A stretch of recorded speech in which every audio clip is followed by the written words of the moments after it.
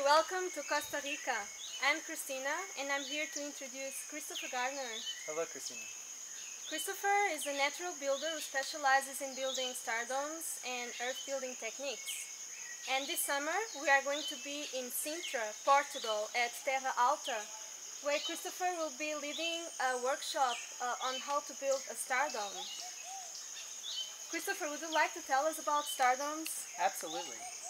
The Star Dome is a newer version of Buckminster Fuller's geodesic dome.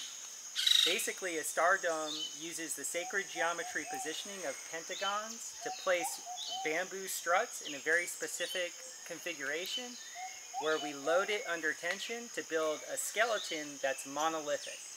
And then we can cover this in any way that we want. That's beautiful. So there are many advantages in using this uh, dome model regarding other dome models, right? Yes, I would say the main advantage is the fact that it takes very little carpentry skills.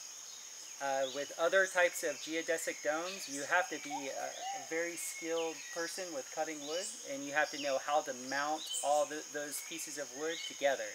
With a star dome, all you have to do is cut 15 equal length members, position them correctly, bend it and put it under tension, and then you have your structure. That's beautiful and amazing. So does one require any specific training to attend this workshop?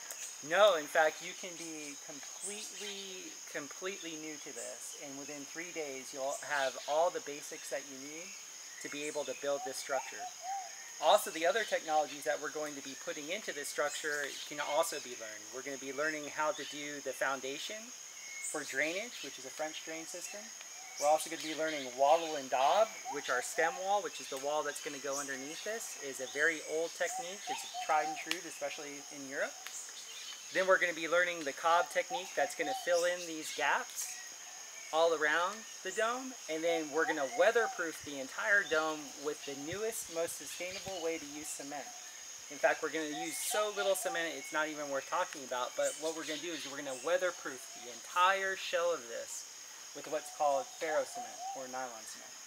Well, that's great. Thank you so much for your explanation and really looking forward to see you in Portugal and build a star dome together, hopefully with all of you. Wonderful. I'm looking forward to it also. See you in Portugal.